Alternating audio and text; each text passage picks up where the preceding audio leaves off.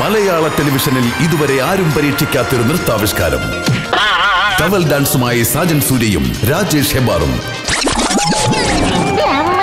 കാത്തിരുന്നു കാണുക. Asianet television awards two thousand nineteen August മുപ്പത്തിയൊന്ന് സെപ്റ്റംബർ ഒന്ന് ശനി ഞായർ ദിവസങ്ങളിൽ രാത്രി ഏഴ് മണി മുതൽ.